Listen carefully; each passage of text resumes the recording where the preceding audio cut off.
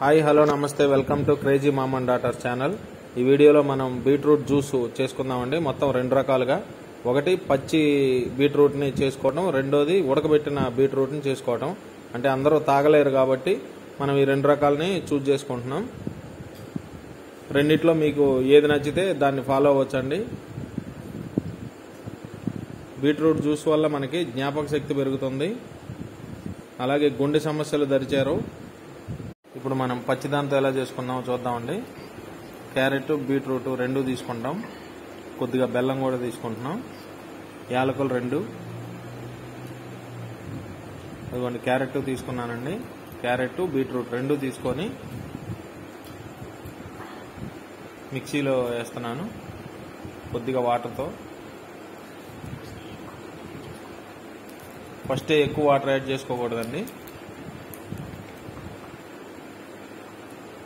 బెల్లం కూడా యాడ్ చేశాను.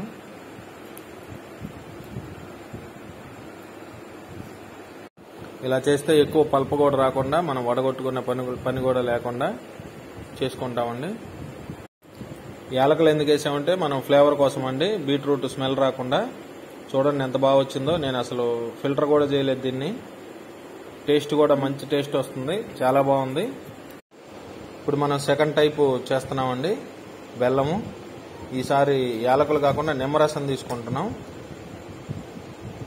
అలాగే బీట్రూట్ క్యారెట్ బీట్రూట్ క్యారెట్ బాగా ఉడకబెట్టి మెత్తగా అయ్యే వరకు ఆ వాటర్తో పాటు మిక్సీ గిన్నెలో వేసుకుంటామండి. అది బాగా మెత్తగా అవ్వాలండి అది. బీట్రూట్ జ్యూస్ రోజు ఒక గ్లాస్ తీసుకుంటే రక్తహీనత సమస్య కూడా ఉండదు. డాక్టర్లు చెప్పే ఉంటారు. సేమ్ ఇందాక చేసినట్టే మిక్సీలో మళ్ళీ తీసుకొని లెమన్ వేసి తీసుకుంటున్నామండి. జ్యూస్ వల్ల ఎక్కువ గుండె సమస్యలు దరిచేరవండి.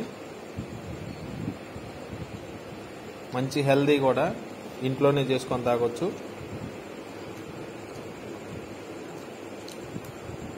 ఇదైతే ఇంకా కలర్ఫుల్గా ఉంది. సేమ్ ఇందాట్లాగే పల్పీ కూడా లేకుండా బాగా వచ్చింది జ్యూసు. మా వీడియో నచ్చితే లైక్ చేయండి షేర్ చేయండి సబ్స్క్రైబ్ చేయండి.